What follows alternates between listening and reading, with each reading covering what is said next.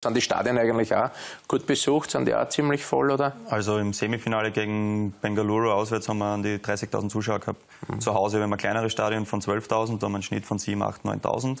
Und generell, also es gibt fußballverrückte Städte wie Kalkutta oder Goa, wo sehr viel los ist. Dann hat man halt aber Stadien wie Northeast, wo ergebnisorientierte Zuschauer kommen. Kommen 20.000 und wenn sie nicht gut spielen, kommen 2.000, 3.000 sogar. Ja. Aber Cricket Nummer eins. Ne, ich wollte gerade sagen, Stellenwert, wenn man durch die Straßen... Stellenwert von Fußball ist jetzt schon ein Unterschied zu Europa, ne? Absolut, weil die Inder, am Anfang wie gesprochen habe, haben gesagt, gib einem kleinen Kind einen Ball, sie nehmen ihn in die Hand und werfen.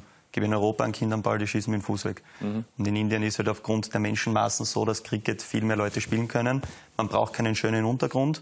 Und dadurch äh, ist Cricket von Haus aus schon mal höher anzusiedeln gewesen. Und was Geld in Cricket äh, investiert wird, ist unglaublich. Also Cricket ist omnipräsent dort. Ja.